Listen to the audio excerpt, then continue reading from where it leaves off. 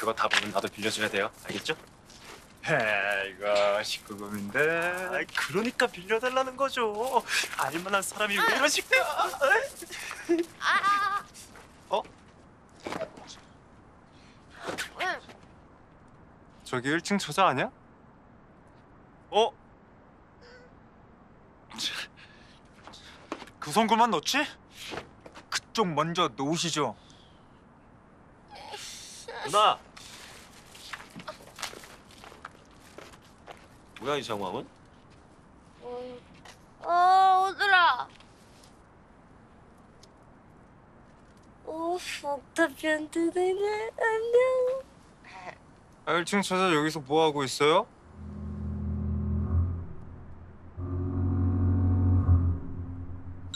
아이고 또 술 먹었네? 여기까지 더 이상은 접근 금지입니다 접근 금지? 그쪽이 기로솔 씨 친동생 맞습니까? 그런데요? 누나, 사람도 누구야? 아주 잘 됐습니다. 기로솔 씨, 얼른 데리고 가시죠. 아, 아.